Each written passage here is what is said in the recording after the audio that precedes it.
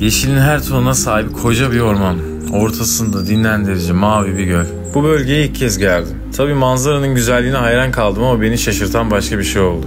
Bu tabiat parkındaki görevliler gün batımına doğru doğaya atılan çöpleri topluyormuş. Temizlik sonrası ağaçlardaki o gizli kameralarla çöpü atan kişileri tek tek tespit ediyorlarmış. Üzerine güzel bir ceza. Uygulama çok güzel değil mi? Keşke ülkenin her köşesinde yapılabilse. Bölgeyle ilgili notlarımı açıklama kısmına yazdım. Aşağı bakabilirsin.